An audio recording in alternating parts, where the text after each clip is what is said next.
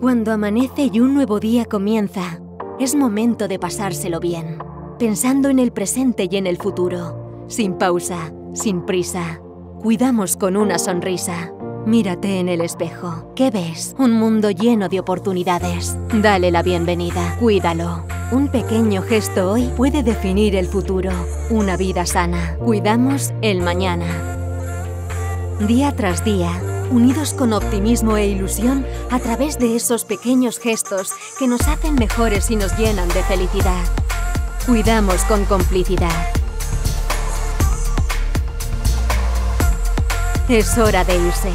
El mundo te espera, tanto por hacer y recordar. Grandes o pequeños, aprendiendo unos de otros. Juntos tomamos conciencia. Cuidamos bajo la experiencia. Y al anochecer, revive los mejores momentos. Las risas, las sorpresas, lo inesperado. Descubriendo detalles de inmenso significado. De forma plena, completa, de principio a fin. Cuidamos de ti. GUM, cuidando cada detalle.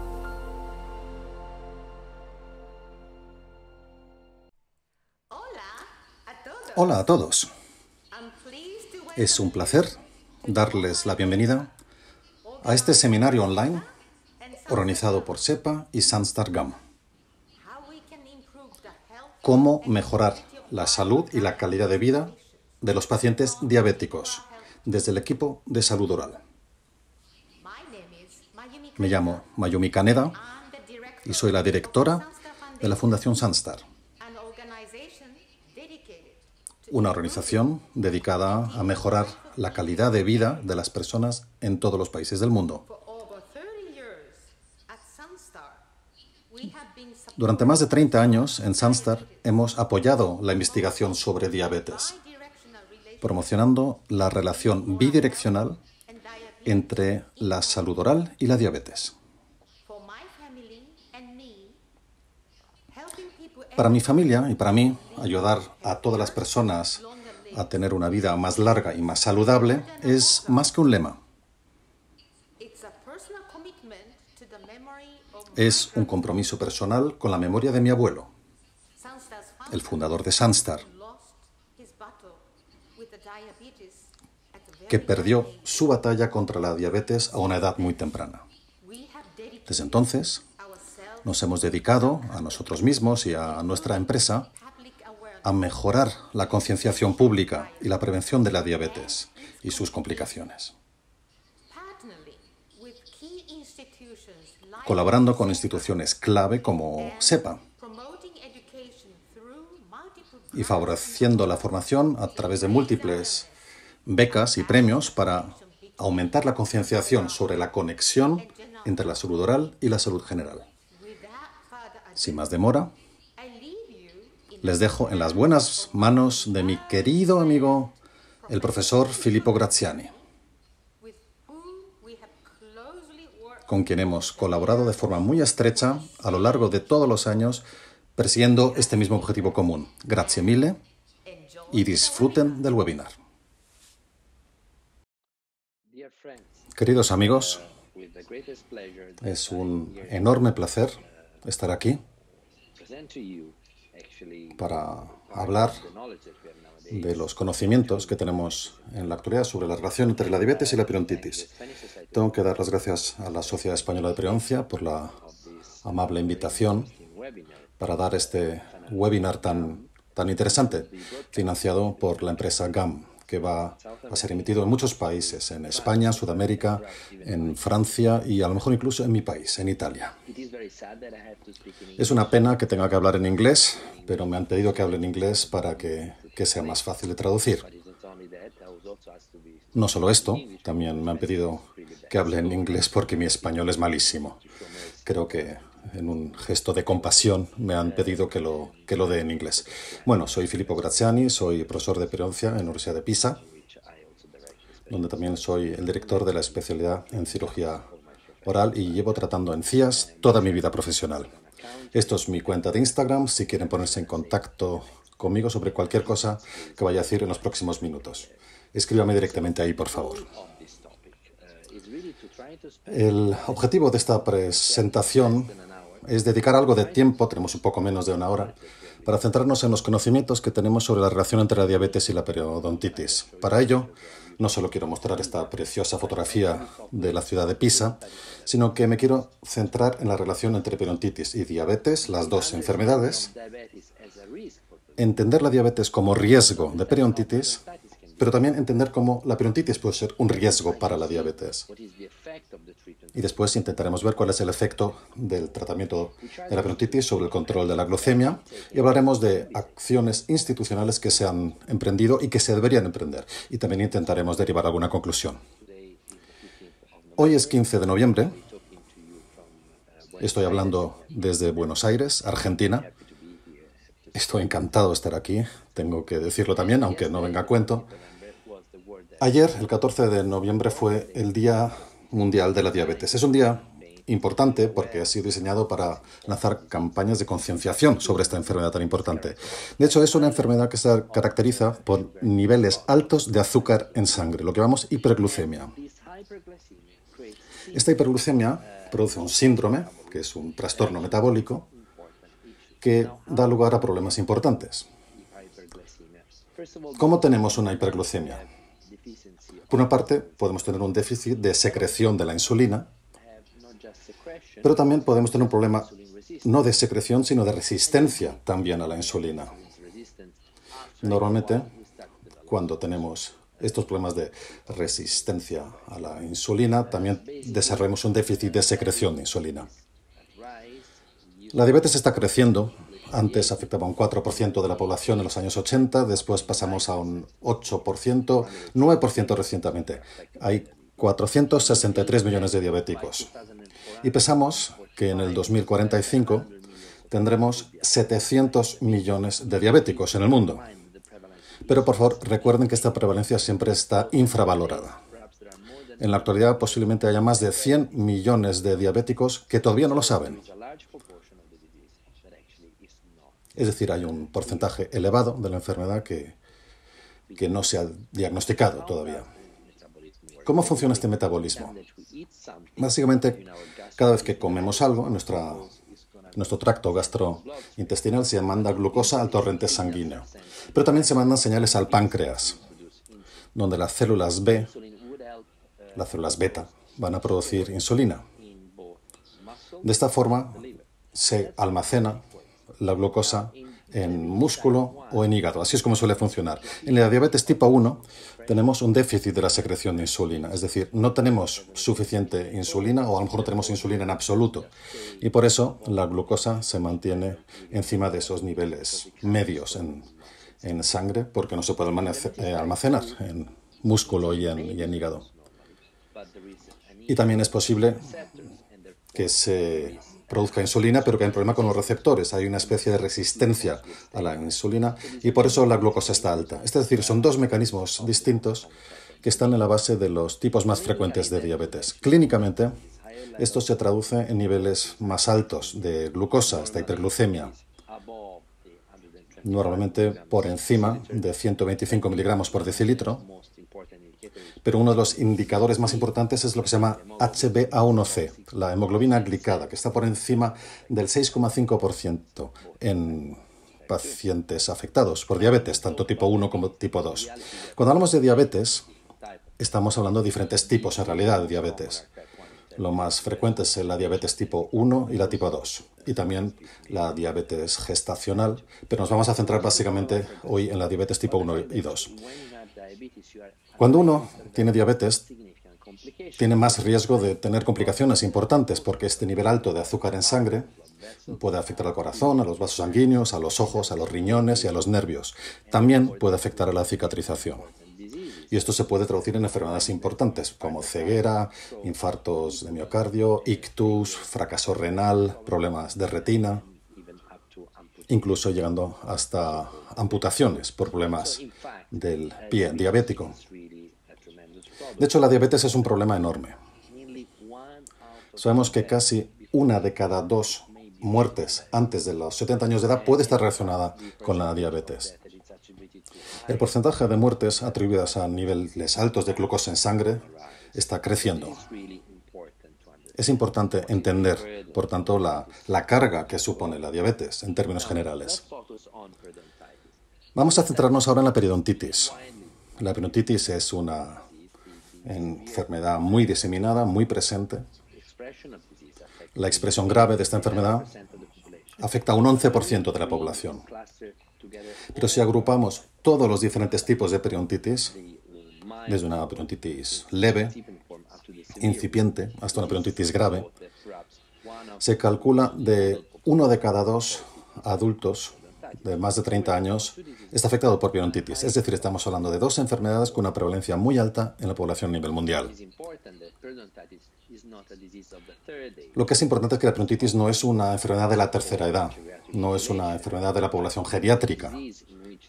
De hecho, es una enfermedad donde el pico de incidencia está entre los 30 y 40 años de edad. Es decir, es una enfermedad del adulto joven. Pero normalmente vemos los efectos de la enfermedad a lo largo del tiempo cuando llegamos ya a una edad de más de 50 o 60 años. Lo más importante del diagnóstico de la periodontitis es que definimos un caso de periodontitis cuando tenemos una pérdida de inserción interdental en dos o más dientes no adyacentes. Y lo que es importante también es que en la última clasificación, estas son fotografías tomadas en la reunión en la que participé en Chicago en 2017, donde volvimos a clasificar la periodontitis. Como saben, ahora tenemos cuatro estadios, desde periodontitis incipiente hasta periodontitis avanzada. Pero no era solo importante clasificarlo en estadios, sino también en grados. Y si hablamos de grados de la enfermedad, esto también incorporó de alguna forma la diabetes en el diagnóstico de la periodontitis. Sabemos que los pacientes que tienen unos niveles normales de azúcar en sangre o que no tienen diagnóstico de diabetes serían un grado A. Los que están diagnosticados como diabéticos compensados, es decir, un HbA1c por debajo del 7%, en ese caso hablaremos, hablaremos de un grado B. Y cuando la hemoglobina está por encima del 7%, se diagnostica como un grado C ya que esto es una diabetes no controlada. Lo importante de la periodontitis son las complicaciones, igual que con la diabetes. En la periodontitis también son importantes las complicaciones porque llevan a la pérdida dentaria y al edentulismo, que es un problema enorme, no solo social, sino también para la calidad de vida y la salud general del paciente. Hay muchos, muchas evaluaciones sobre el impacto de la enfermedad periodontal en el bienestar y el la calidad de vida de la población. Resumiendo, la diabetes y periodontitis son enfermedades muy presentes, muy diseminadas y que una proporción importante de las dos enfermedades no, no se conoce. Sabemos que la diabetes tiene un impacto importante sobre la periodontitis hasta el punto de que ahora también tiene un papel ya en la clasificación de esta enfermedad. Vamos a entender ahora la periodontitis como riesgo de sufrir periodontitis. Hace más de 20 años, hace 25 años, la periodontitis se definió como la sexta complicación de la diabetes, después la retinopatía, nefropatía, neuropatía, macroangiopatía y el retraso de la cicatrización. Sabemos que la diabetes complica de forma tremenda una periodontitis. Si uno tiene una diabetes tipo 2 y es una diabetes no controlada, uno tiene tres veces más probabilidades de desarrollar periodontitis en comparación con alguien que no es diabético. Si uno tiene diabetes y no está controlada, tenemos cuatro veces más riesgo de pérdida de hueso alveolar y también más pérdida dentaria en diabetes no controlada versus diabetes controlada o pacientes normoglucémicos, no diabéticos. Por tanto, la diabetes aumenta el riesgo de sufrir periodontitis, pero también aumenta la gravedad, porque hay más reabsorción y más pérdida dentaria si uno tiene una diabetes no controlada. Se dice que la diabetes aumenta también el riesgo de incidencia o progresión de la periodontitis un 86%, que es un valor enorme. Esto está muy relacionado con el control, como he dicho antes. De hecho, si vemos la diferencia entre la diabetes mal controlada, es decir, niveles de hemoglobina glicada muy altos versus los pacientes que tienen unos niveles de hemoglobina glicada alrededor del 6,5%, debajo del 7%, vemos una, una diferencia muy clara en términos de progresión de la periodontitis. Los pacientes afectados por prediabetes o los que tienen un control muy bueno de su diabetes, de hecho, tienen la misma tendencia de sufrir periodontitis que aquellos que no son diabéticos. Es decir, no solo es una cuestión de tener diabetes, sino es cuestión de tener una diabetes no controlada, lo que tiene una relación con la periodontitis. El tema de la, del control de la diabetes merece la pena que hablemos un poco de ello. El paciente no viene con una diabetes no controlada. El paciente normalmente viene con antecedentes de, de, diabetes y tiene fluctuaciones de sus niveles. Cuando hablamos con el paciente, cuando le hacemos la anamnesis y intentemos el, el tipo de tratamiento que está recibiendo, podemos ver, por ejemplo, que si un paciente recibe insulina para una diabetes tipo 2, quizás es una persona en la que la dieta y el ejercicio físico han, han fracasado. Ha fracasado también la metformina y después de los medicamentos hipoglucémicos se ha pasado a tomar insulina. Lo que quiero decir es que si el paciente nos dice que toma insulina, significa que los tratamientos previos han fracasado y que se puede deducir que ha habido unas fluctuaciones importantes de su control glucémico. Por eso es tan importante hablar con el paciente y, para intentar entender también qué, qué tratamientos ha sufrido. Pido perdón porque acabo de mencionar la metformina, pero en realidad quería hablar de medicación hipoglucémica. ¿Cuál es la base biológica para enlazar la diabetes con la periodontitis? ¿Cómo puede ser que un diabético tenga más periodontitis? En primer lugar, hay tres grandes mecanismos. Primero tenemos una alteración de los componentes microbiológicos. Hay un problema en términos de inflamación y también hay un efecto directo de la hiperglucemia sobre el metabolismo, especialmente si hablamos de estrés oxidativo. Vamos a intentar explicar esto. En primer lugar, está apareciendo evidencia frente a lo que sabíamos hace unos años, es decir, tenemos más certeza o, o aceptamos de forma mejor que si uno tiene diabetes y si la diabetes no está bien controlada, puede haber un cambio en la población de la placa bacteriana hacia lo que llamamos bacterias patógenas, patógenos periodontales. Es decir, los diabéticos, las personas con diabetes y que no tienen bien controlada la enfermedad, tienen más probabilidades de tener niveles altos de patógenos periodontales. Es decir, claramente hay una mayor carga microbiológica. Pero no solo esto. El también hay, tenemos la respuesta del hospedador, que está alterada. Hay alteraciones de las citocinas y adipocinas. Sabemos que en pacientes con diabetes tipo 1 y periodontitis versus, por ejemplo, los que tienen periodontitis pero no diabetes, hay un mayor una mayor presencia en el fluido crevicular de moléculas inflamatorias como prostaglandinas o interleucina 1 beta. Eso también es cierto en pacientes con diabetes tipo 2, donde también encontraremos más colágenasas y más interleucinas. Básicamente, la presencia de diabetes en los pacientes periodontitis aumenta los niveles inflamatorios en los tejidos gingivales versus los pacientes que tienen perontitis pero no son diabéticos. También hay alteraciones en las funciones de las células del sistema inmunológico. Sabemos, por ejemplo, que los monocitos en pacientes con periodontitis y diabetes producen más interleucinas y prostaglandinas que pacientes que solo tienen diabetes. También hay una alteración de la función de los neutrófilos y muchas veces una mayor producción también de interleucina 4 y 7. Es decir, hay una mayor tendencia a la inflamación local en pacientes que tienen perontitis y diabetes, tanto tipo 1 como tipo 2. La hiperglucemia es importante también porque altera la cicatrización de la herida mediante la producción de los productos finales de glicación. Y estos, a su vez, están asociados también con un incremento de la destrucción del hueso alveolar. Es decir, la presencia de hiperglucemia implica una mayor reabsorción ósea también. Si juntamos todo esto, está muy claro que la diabetes aumenta el riesgo de desarrollar periodontitis. Aumenta la gravedad de la periodontitis.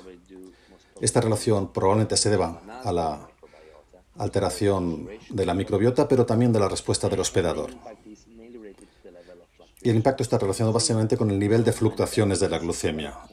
Es decir, si la diabetes está bien controlada, si no hay fluctuaciones de la, de la glucemia, esto no se refleja en una mayor tendencia a la inflamación, como si se ve en los mal controlados. Así es como la diabetes afecta a la periodontitis. Vamos a ver ahora el otro extremo, ¿Cómo puede influir la periodontitis en la diabetes? Y tenemos que dedicar unas palabras también al tema de la medicina periodontal. Estas son fotografías que fueron tomadas hace casi 10 años en una reunión histórica entre la eh, Federación Europea de Periodoncia y la Academia Americana de Periodoncia. En la actualidad sabemos que la periodontitis está asociada a 57 enfermedades sistémicas. Saben que la EFP ha realmente establecido un hito en este sentido, intentando aumentar la concienciación, no solo entre la relación de la, de y las enfermedades sistémicas, sino también más allá. ¿Cómo puede ser que las personas con periodontitis tengan más alteraciones del control de su glucemia que las personas que no tienen periodontitis? Esto es algo que nuestro grupo ha estudiado mucho en estas revisiones sistemáticas, básicamente. Lo que aquí se recalcó es que los pacientes que no son diabéticos, pero tienen periodontitis, tienen una, un peor control de la glucemia que los que no son diabéticos tienen periodontitis. Es decir, la presencia de periodontitis en la población sana está relacionada con un peor control de la, de la glucemia. Esto es importante porque esto es una evidencia derivada de más de 67.000 personas en diferentes continentes es muy relevante el hecho de que hay una distribución geográfica amplia. Es decir, esto es información muy importante. No es solo cuestión de control de la glucemia, sino que si uno no tiene diabetes pero tiene periodontitis, tiene más riesgo de desarrollar una diabetes.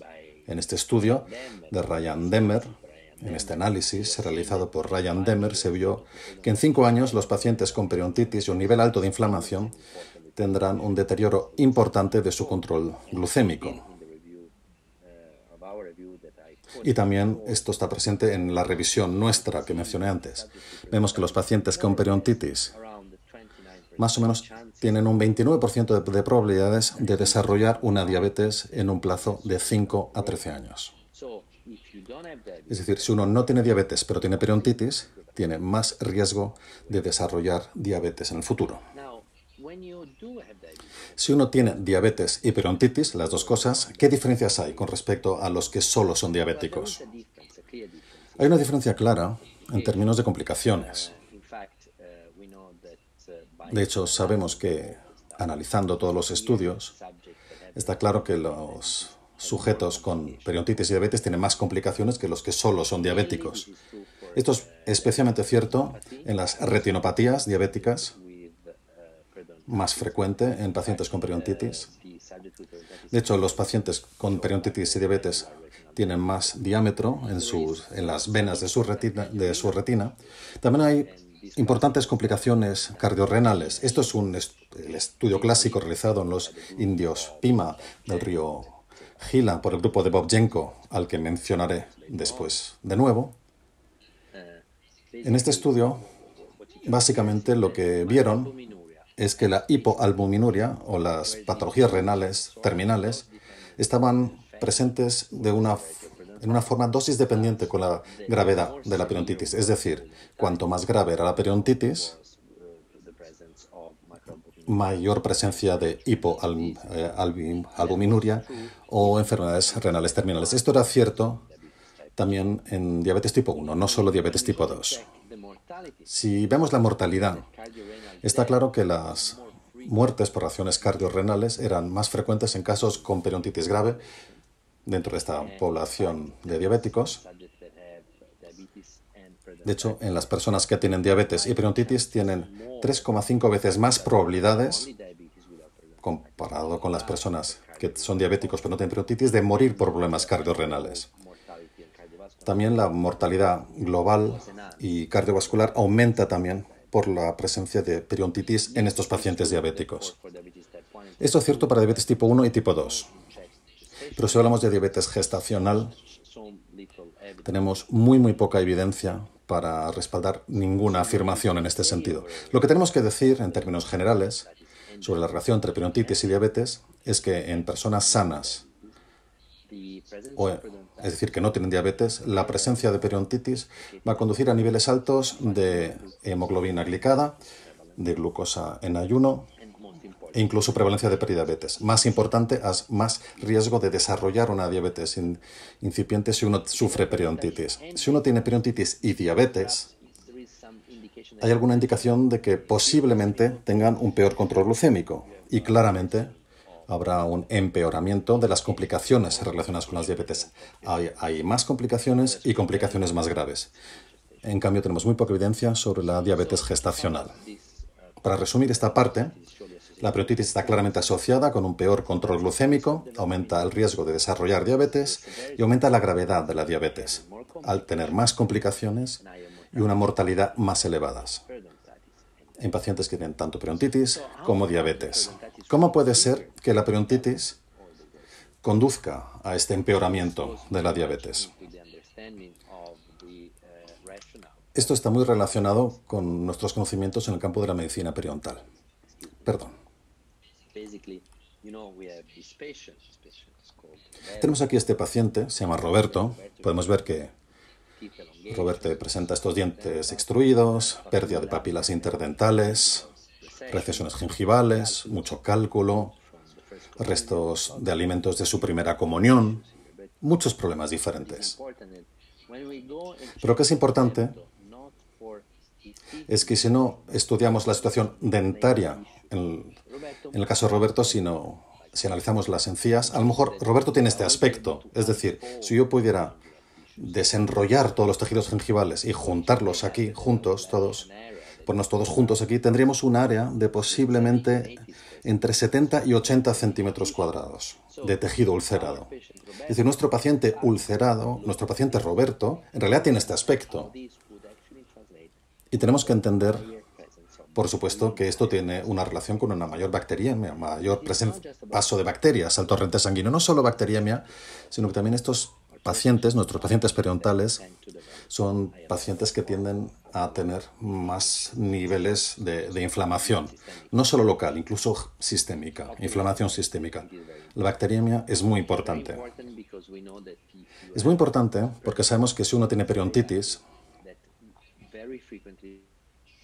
es muy probable que, por ejemplo, al, masticar, pasamos bacterias al torrente sanguíneo. Es muy probable que los pacientes con periodontitis tengan una bacteriemia constante en su sangre, cosa que es muy relevante. Porque tenemos evidencia, tenemos mucha información de que estas bacterias son capaces de colonizar otras zonas, como las placas de ateromas, por ejemplo.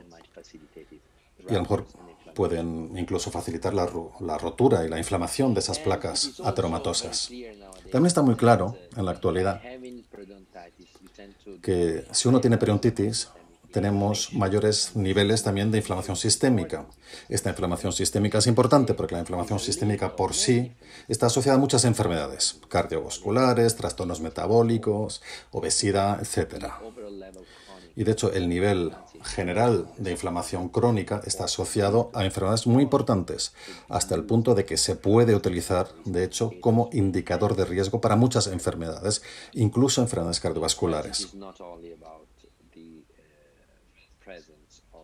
Pero no solo la presencia de bacterias en sangre, la presencia de inflamación, sino también el hecho de que la periodontitis está asociada con la alteración del metabolismo lipídico. Los casos graves tienen valores más bajos de las lipoproteínas, entre comillas, buenas.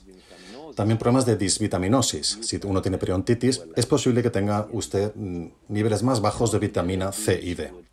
Y en conjunto todo esto se traduce una alteración del metabolismo lipídico y un estrés oxidativo que puede conducir a una alteración y una exacerbación de la diabetes al tener estos niveles más altos de hemoglobina glicada. La inflamación sistémica tiene un papel importante también. ¿Cuál es el efecto, por tanto, del tratamiento de la periodontitis con respecto al control de la glucemia? Primero vamos a entender si tratando a alguien con diabetes y periodontitis, el resultado del tratamiento puede ser inferior, peor, porque sabemos que los diabéticos tienen una peor capacidad de cicatrización. Lo que sabemos en realidad es que no debería haber diferencias. Los pacientes diabéticos pueden responder al tratamiento prácticamente igual que un no diabético. Más importante también está muy claro que no está recomendado dar antibióticos, porque los daños son mayores que los beneficios. Y, pero no hay ningún problema en realidad, porque el tratamiento de la periodontitis actúa en realidad como un tratamiento antibacteriano. Es decir, no hace falta dar antibióticos para tratar a alguien con diabetes. De hecho, le estamos haciendo un, favor a ese organismo eliminando esas bacterias. Sabemos que los pacientes tratados por periodontitis que tienen diabetes presentan una mayor recidiva de bolsas periodontales, por ejemplo, si tienen lo que llamamos una diabetes no controlada versus los que tienen una diabetes controlada. Esto lo sabemos y esto está muy claro. Por eso la presencia de una diabetes no controlada está asociada a un diagnóstico de grado C, porque a largo plazo la estabilidad es claramente inferior. Y por eso es tan crucial también interactuar con, los médicos de familia, los diabetólogos, para intentar mejorar el control glucémico, también en nuestro beneficio. Otra cuestión importante es si el tratamiento de la periodontitis mejora el control glucémico en sujetos afectados por periodontitis y diabetes. La revisión clásica de la reunión histórica que mencioné antes indica claramente que el tratamiento de la periodontitis en pacientes diabéticos está asociado a una reducción de la hemoglobina glicada del 0,36%. ¿Por qué es tan importante esto? Un 0,3, un 0,4% es la magnitud de la reducción de la hemoglobina glicada que se puede conseguir añadiendo un segundo fármaco hipoglucémico. Es decir, en vez de darle otro fármaco, solo tienen que tratar a sus pacientes por su periodontitis. Esto es muy importante. El tratamiento de la periodontitis, la reducción de inflamación sistémica que está asociada a ello, van a mejorar el control glucémico. Esto es algo que fue confirmado en una revisión más reciente en el grupo del profesor Madianos, donde nos habla de un 0,3 hasta un 0,7% de reducción. Otro trabajo muy importante del grupo de Francesco de Ayuto, digo muy importante por la cifra, por el, número de, de, pacientes incluidos en el estudio y, y la revisión larga, hasta un año, podemos ver que cuando se da un tratamiento periodontal intenso, después del tratamiento hubo una reducción del 0,6% y que la mayoría de los pacientes, casi el 70% de los pacientes mostraron una reducción de 0,9% de la hemoglobina glicada. Esto es un resultado muy, muy importante. La última revisión sistemática, el último metaanálisis que tenemos viene de las revisiones Cochrane y nos dice claramente que hay una reducción de la hemoglobina glicada tras el tratamiento periodontal. Esto oscila entre 0,4 y 0,5%, dependiendo también del, seguimiento, tres meses o, un año. Es decir, esto es lo que esperamos de un segundo fármaco. Es decir, en vez de dar un segundo medicamento, el tratamiento de, de la periodontitis va a producir el mismo resultado. Estos resultados de los estudios clínicos están respaldados también por los datos que tenemos de las empresas de seguros. Estos son estudios que para mí son clásicos y muy importantes porque analizan un grupo enorme de población. Por supuesto, no son estudios clínicos diseñados y en este sentido pues tienen algún sesgo, algún problema, si lo queremos también comparar con estudios clínicos, pero son muy importantes por el enorme grupo de población que se incluye. Para darles una idea, voy a intentar describir este estudio del grupo de Marjorie Jeffcoat, donde básicamente evaluaron el código, el código de la empresa de seguros para entender si los pacientes tienen periodontitis o no, porque ellos reciben un código de periodontitis en los seguros. Lo que hicieron fue juntar a las personas con un código de periodontitis y la gente sin código de periodontitis. Y la gente con código de periodontitis y otras enfermedades como diabetes, cardiovasculares, cerebrovasculares o embarazo incluso y compararon con esos códigos de la empresa seguros, insisto, a los pacientes que recibieron tratamiento periodontal versus los que no recibieron tratamiento periodontal. Y lo que quedó claro es que, si quieren ver aquí los datos, aquí en la población de diabéticos, vemos que los que fueron tratados por su periodontitis versus los que no fueron tratados, mostraron cada año una reducción clara de gastos médicos. Básicamente, si uno tiene diabetes y periodontitis y se le trata por su periodontitis, cada año le van a costar menos a la empresa de seguros por otros problemas médicos.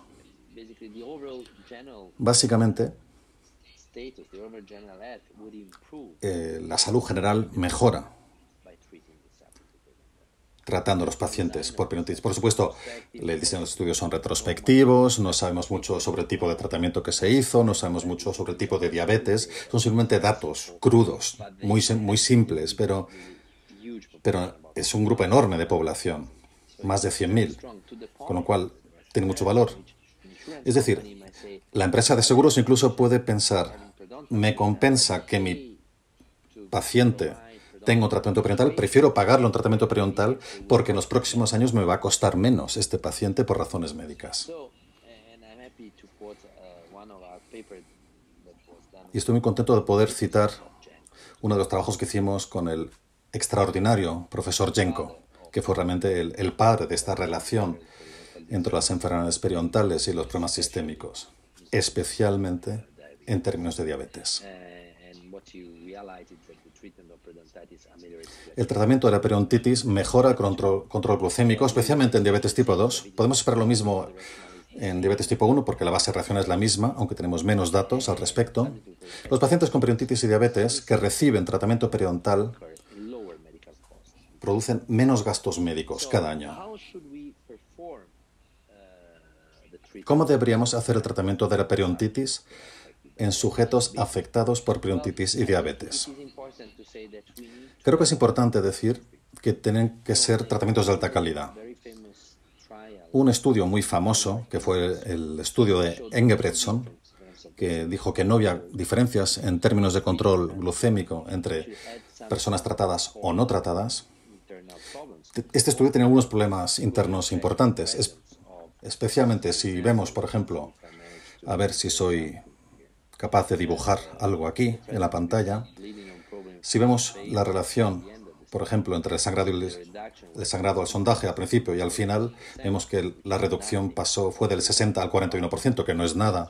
O, por ejemplo, índice de placa, 86% al 72%. Esto realmente está por debajo de los estándares mínimos aceptables para, para cualquier tratamiento periodontal. Es decir, claramente no se pudo ver este efecto sobre la hemoglobina glicada porque el tratamiento periodontal no se hizo con el estándar correcto, aparte de que había otros problemas como grandes niveles de obesidad en la población y todo esto conjuntamente nos habla a favor de la necesidad de hacer un tratamiento de alta calidad. Vemos aquí a Carla, es una paciente mía afectada por diabetes tipo 2.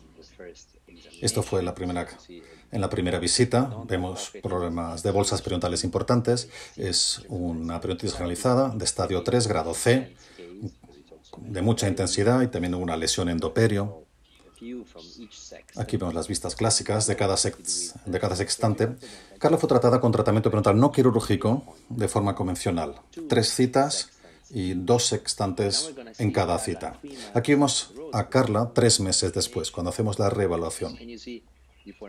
Podemos ver que si comparamos el antes y el después hay una reducción importante de la inflamación en los tejidos, cambios importantes. Hemos pasado de una inflamación del 90% a una inflamación del 1%. Y estas son las vistas de los diferentes sextantes antes y después del tratamiento. ¿Cómo debemos hacer este tratamiento? He mencionado que Carla fue tratada en tres citas de dos sextantes cada una. Porque la duda que tenemos en la actualidad es si hacer un tratamiento convencional o un tratamiento de boca completa. En un trabajo de Ginny Suban, Cristiano Tomasi, yo y Janders, que fue la base de las recomendaciones clínicas del tratamiento periodontal no quirúrgico en tratamiento de la periodontitis en las guías de la FP, Dijimos claramente que no hay diferencias entre tratamientos de boca completa o el abordaje convencional en términos de parámetros periodontales. Nuestro grupo, aún así, hace tres años, demostró que hay una diferencia importante en términos de inflamación aguda en las primeras 24 horas. Básicamente, los pacientes que se hacen un tratamiento periodontal con abordaje de boca completa, en los primeros días van a tener una enorme inflamación sistémica versus lo que pasa con pacientes que se hacen un tratamiento convencional. Esto se ve en niveles de proteína C reactiva, interleucina 6 y necrosis tumoral alfa, factor de necrosis tumoral alfa. Pero la biología no sabe lo que es un tratamiento de boca completa o, o por sextantes, solo sabe tipo de traumatismo que hay. El tiempo de tratamiento está relacionado con la respuesta inflamatoria. Cuanto mayor el tiempo de tratamiento, más inflamación tendremos al tratar al paciente. Por eso hicimos también este mismo estudio en una población de diabéticos. Quiero compartir estos datos. Estos datos todavía no están publicados, están siendo revisados, ahora están en una segunda ronda ya de revisiones en una revista de nuestro gremio, con lo cual tienen que tomar estos datos con, con precaución, porque a lo mejor son rechazados o a lo mejor nos piden que hagamos otros análisis. Pero yo creo que es importante indicarles lo que hemos encontrado. Y vamos a ver simplemente las tablas. La cuestión es que si comparamos el tratamiento por cuadrantes o de boca completa en diabéticos, las dos funcionan bien, las dos opciones funcionan bien. Pero incluso en este modelo también los pacientes que fueron tratados con abordaje de boca completa mostraron niveles altos de proteína C reactiva y de interleucina 6 en las primeras 24 horas. ¿Por qué es importante esto? Es importante porque cuando comprobamos la reducción de la hemoglobina glicada, la reducción de la hemoglobina glicada fue más alta en pacientes tratados con un tratamiento convencional por cuadrantes versus boca completa. De hecho, cuando hicimos un análisis de regresión, quedó muy claro en este análisis secundario que en los pacientes que son tratados con un abordaje de boca completa presentan niveles más altos de proteína C reactiva y ese nivel más alto de proteína C reactiva está asociado a una menor eficiencia de la reducción de la hemoglobina glicada. Lo que quiero decir con esto es que la inflamación, la inflamación postoperatoria que tenemos con el abordaje de boca completa en pacientes diabéticos se puede traducir en una menor eficiencia de la reducción de la hemoglobina glicada a corto plazo, porque sabemos de los otros estudios que a largo plazo sí que será efectivo también con el tratamiento a boca completa. La importancia de estos datos es que, según nuestro grupo, de hecho, también vamos a publicar un estudio sobre pacientes obesos con diabetes y periodontitis, es que ahí recomendaremos, nosotros recomendamos en diabéticos un tratamiento convencional versus abordaje, de, abordaje de boca completa porque tenemos más eficientes en control de la glucemia. ¿Qué pasa si tratamos la periodontitis en pacientes diabéticos mejora su calidad de vida? Sabemos que los pacientes con periodontitis tienen un impacto muy importante en su calidad de vida asociada a la salud oral. Esto se suele estudiar con este tipo de cuestionarios. Son pruebas, son cuestionarios, pruebas psicométricas donde se hacen preguntas de, de tipo abierto y el paciente puede responder a través de una escala de Likert para darnos una idea de la frecuencia con la que experimentan estos posibles síntomas, desde nunca hasta siempre. Por ejemplo, ¿se ha sentido alguna vez incómodo o incómoda por algún problema que ha tenido con su boca o sus dientes? El paciente puede decir siempre o, nunca o a menudo. Estas respuestas reciben un número y al final tenemos una cifra que nos habla del impacto en la calidad de vida. Y sabemos, por supuesto, que los pacientes con periodontitis tienen niveles más altos de reducción de su calidad de vida debido a su salud oral. En nuestros dos estudios se vio claramente que tratando la periodontitis hubo una mejoría de la calidad de vida asociada a la salud oral, no solo en diabéticos, sino también en diabéticos obesos. Es decir, si tratamos la periodontitis en un diabético, mejoraremos su calidad de vida de una forma muy importante. Por tanto, los protocolos convencionales de boca completa son igualmente efectivas, pero los de protocolos de boca completa están asociadas a, otras, a otros problemas a corto plazo. Y pueden, y a los protocolos de boca completa están asociados con una mayor inflamación sistémica y podemos de esta forma, por tanto, también aquí afectar estos diferentes parámetros y tenemos tener claramente un mejor control de la glucemia con el tratamiento convencional, aunque hacen falta más estudios y lo que es importante recalcar es que no hace falta dar antibióticos a estos pacientes. Vamos a pasar ahora a la última parte de este webinario para ver las acciones que tienen que emprender las diferentes sociedades nacionales y las instituciones.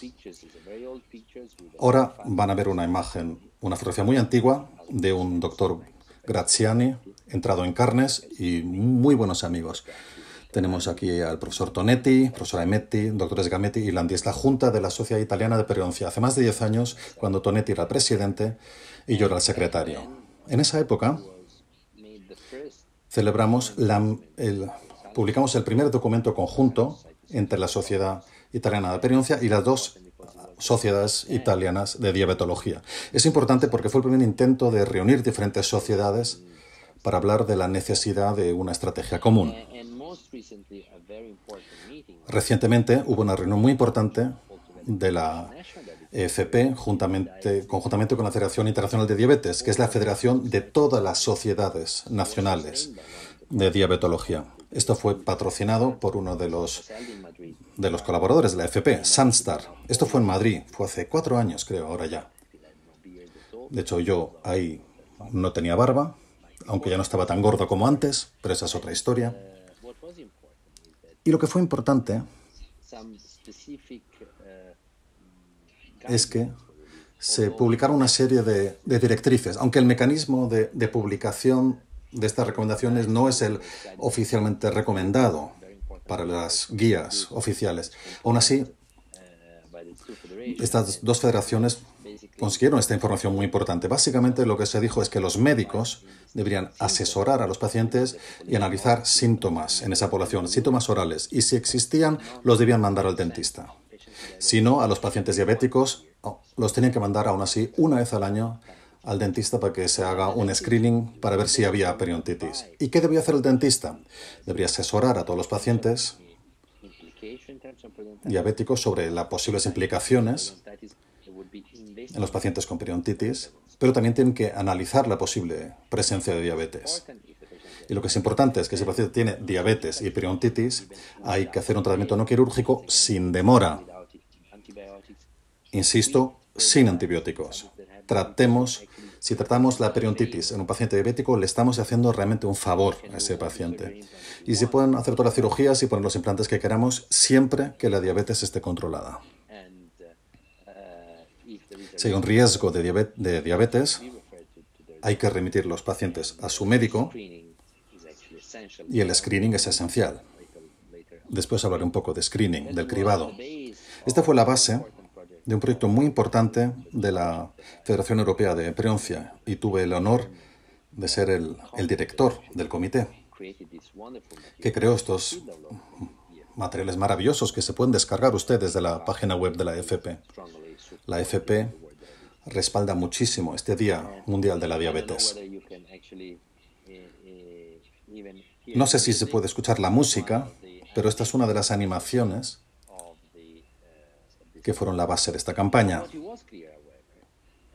Lo que sí quedó claro es que esta reunión entre los diabetólogos y los perioncistas,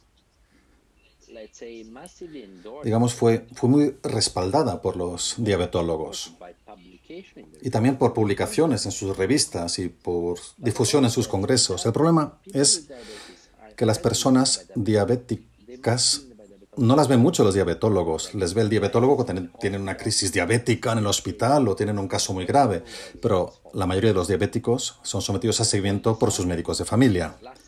Este último verano, el mes de julio, la FP se juntó con la WONCA, que es la Asociación de Médicos de Familia. Esto fue organizado por el profesor David Herrera, el director del comité de workshop de la FP. Aquí lo pueden ver sonriendo, con todo su atractivo, su belleza.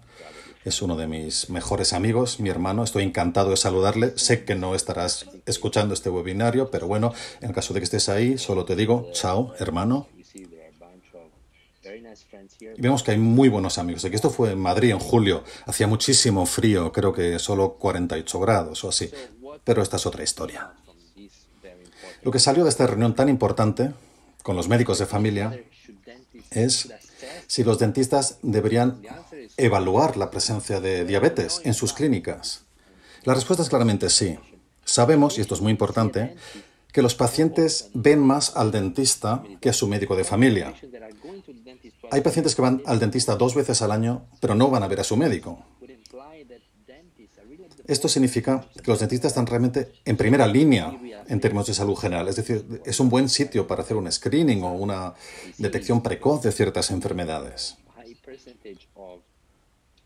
Porque este alto porcentaje de diabetes en pacientes con perontitis pues los podemos identificar así. ¿Y cómo evaluamos la diabetes? Bueno, en primer lugar, antes de empezar en análisis de sangre y demás, Debemos pensar en utilizar un cuestionario, un cuestionario validado para identificar los pacientes de riesgo. Hay cuestionarios validados en todos los países. Es importante que sea el cuestionario de cada país porque en algunos países pueden haber factores de riesgo que en otros países no hay. Si se detecta un riesgo alto, se puede mandar al paciente a hacer un análisis de sangre o, por ejemplo, una prueba rápida en la clínica, en las clínicas que tengan interés en trabajar en esto. Además, de esta forma no vamos a inundar con pacientes a los médicos de familia, porque una de las cosas que más les preocupa a ellos, perdón, una de lo que más preocupaba a los médicos de familia era que les llegaran tantísimos pacientes que tuvieran que hacer tantísimos análisis de sangre. Es decir, de alguna forma estaban muy contentos de que nosotros les pudiéramos echar una mano. Por tanto, cuestionario validado, paciente de riesgo, si el paciente tiene un riesgo elevado, eh, entonces pasaríamos hacer una prueba rápida en clínica o un análisis de sangre. Estos son procedimientos que tienen una mayor capacidad de detectar a pacientes diabéticos, hasta un 70%. Y las sociedades nacionales deberían respaldar esto también. Esto es una campaña reciente de la Sociedad Italiana de Periodoncia, respaldada por la empresa Sunstar, un decálogo, 10 puntos, para mejorar la higiene oral en el caso de que alguien tenga diabetes. Pero hay muchas otras sociedades que están trabajando en ello, especialmente SEPA. Y quiero decir que esto es muy importante, porque la periodontitis y la diabetes comparten esta relación bidireccional. Los médicos y los dentistas deberían ser conscientes de esta conexión. Tenemos que aumentar la concienciación y, la colaboración entre médicos de familia y dentistas. Tenemos que, lo que le puedo decir a todos los dentistas es hablen con sus médicos de familia. Yo lo llevo haciendo 20 años. Si veo a un paciente diabético, les llamo, les escribo. Algunos están como hartos ya, dicen por qué me llama este dentista, pero otros lo agradecen mucho. Y esta también es una base para una relación muy importante porque los médicos me mandan a mí pacientes por este tema. Esto es muy importante, es un proceso lento, pero todos los años hay una mayor concienciación y una mayor tendencia a conocer cuál es el impacto de la peritonitis en este sentido. Queridos amigos, he hablado 50 minutos. Ha sido un placer compartir esto con ustedes. Aquí muestro una preciosa puesta de sol en la maravillosa plaza de mi ciudad. Pero antes de terminar mi conferencia, permítame hacer un reconocimiento público del trabajo del extraordinario doctor Popchenko, que estaba realmente en la primera línea de todo lo que sabemos en relación entre diabetes y periodontitis. Fue un amigo maravilloso, un mentor para mí, y tuve el honor de trabajar con él. Y especialmente también de beber con él y hablar con él hasta altas horas de la noche, porque uno puede ser un ser humano y un gran científico al mismo tiempo. Ha sido un placer compartir este tiempo con ustedes y tengo ganas de que me manden cualquier pregunta. Han visto mi cuenta de Instagram, me pueden escribir ahí si tienen cualquier duda. Muchas gracias, buenas noches.